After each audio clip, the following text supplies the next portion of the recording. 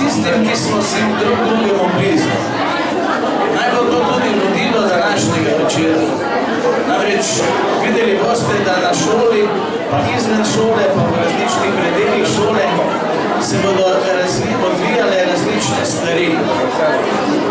V tem času, ki ga imate na razpolago, dajte izkoristiti in videti čim več in čim bolje. Uh, seveda to, kar boste videli, naj povem, da ni mogoče izpeljati brez timskega dela.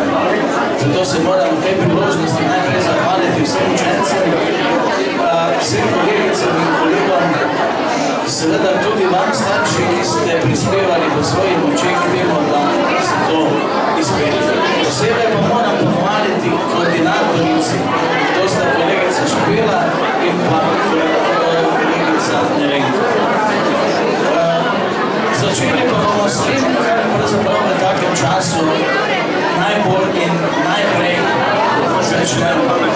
Torej z glasbo in z lepimi mislimi, naj nas lepo popeljajo učenci, za katere je to tudi namenjeno. Želim vam prijeten večer in seveda uspešen zaključek tega leta in jaz upam, da bo še priložnost, pa vendar je izkoriščen že zdaj, da vam zaželim, da Dobranoc.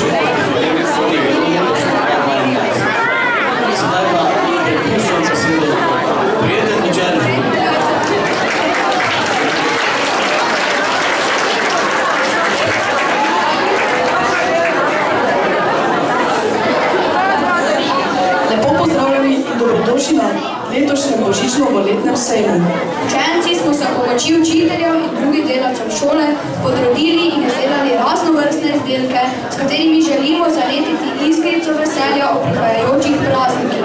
Preden pa se podate v izbiranje svojih daril, bi vam za začetek današnjega sejma učenci naše šole podarili, podarili nekaj nedotakljivega, nekaj, ne, nekaj neprecenljivega.